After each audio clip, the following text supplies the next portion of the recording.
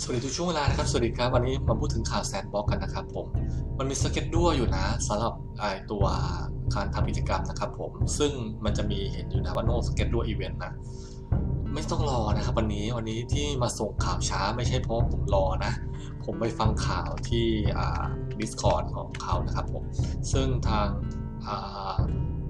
moderator นะครับผมของ Sandbox ก็เขาจะพูดนะว่ามีอะไรบ้างที่เป็นข่าวๆนะครับที่น่าสนใจนะ คือเราจะเห็นตัวเกมเนี่ยเปิด Open World นะครับผมเมื่อปี 2022 นะครับในอย่างแรกนะ แล้วก็คนที่จะสร้างพวกเกมเมเกอร์หรือพวกวอล์กขึ้นมาได้นะครับ ผมยังยังเก็บเงินไม่ได้ในตอนนี้นะก็ฝึกสร้างกันไปก่อนนะครับ แล้วก็อาจจะเก็บเงินได้ในช่วงเวลาปีหน้านะครับเพราะตอนนี้ยังไม่ได้อยู่เราพวกเรายังไม่อยู่ในกองทุนนะยังสร้างไม่ได้นะครับผมแล้วก็สิ่งสำคัญที่สุดนะการสร้าง ในพื้นที่ดินที่เรามีนะครับผมเราสามารถเก็บเงินได้เรียกเก็บเงินได้นะครับ ผมซึ่งมันเป็นอะไรที่เจ๋งนะสำหรับผมมองนะครับคือเราสร้างกิจกรรมขึ้นมาในเกมแล้วเราก็ให้คนเข้ามาเล่นเกมก็ได้นะครับผมเป็นอะไรที่น่าสนใจนะครับ แล้วก็ทุกทุกกิจกรรมที่เกิดขึ้นนะครับ ผมก็จะมีจับฉลากนะแล้วก็เขาจะมาคัดกันนะครับ ผมในวันพฤหัสนะครับพฤหัสหน้านะครับ ผมว่าใครจะได้ชนะไปนะครับผม ก็ประมาณนี้คร่าวๆนะสำหรับใครที่ติดตามนะครับผมว่าทำไมมันไม่มีกิจกรรมนะครับเพราะมันไม่มีนะครับผมเราเข้ามาดูได้นะครับตรงนี้นะสำหรับใครที่ไม่รู้นะครับผมได้นะครับ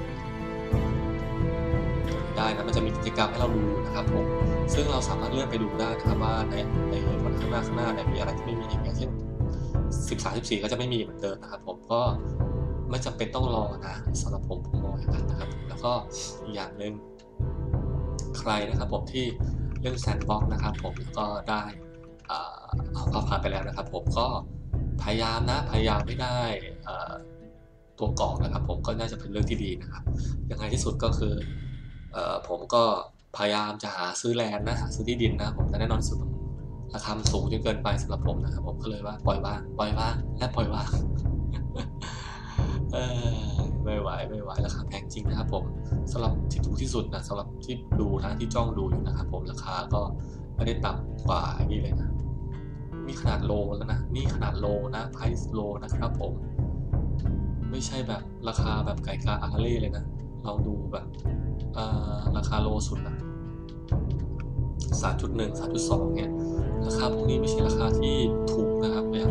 ในอยู่ใกล้แซนบอกเนี่ยสามารถวาร์ปได้นะครับสำหรับใครที่มีเกาะอยู่ใกล้แซนบอกอย่างนี้นะวาร์ปได้นะ ตอนแรกราคาเท่าไหร่รู้ไหมครับ ผมไม่ผมไม่ถ่ายเท่าไหร่ราคาเลยตอนแรกราคา 0.8สามเดือก่อน 0.8 นะครับผม ซึ่งเอาจริงผมซื้อไม่ทันแหละเพราะมันแข่งขันกันสูงเยอะจริงๆนะ แล้วอันนี้คือยอมทำจริงว่ามันเราแข่งขันกับเขาไม่ไหวจริงนะครับผมในราคาในราคา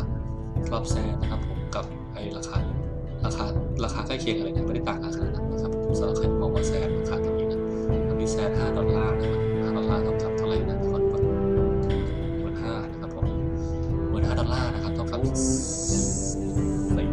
30ก็สี่แสนกว่าบาทนะประมาณนี้นะครับคร่าวๆนะสำหรับใครเป็นแลนด์บอร์ดนะครับตอนนี้ก็ตั้งหน้าตาครับผมลองฝึกเก็บพิกเกอร์ไว้หรือไม่ก็พัฒนาไว้นะครับผมเพื่อจะพัฒนาที่ดินต่อไปในอนาคตครับผมเจอกันที่หน้าสวัสดีครับ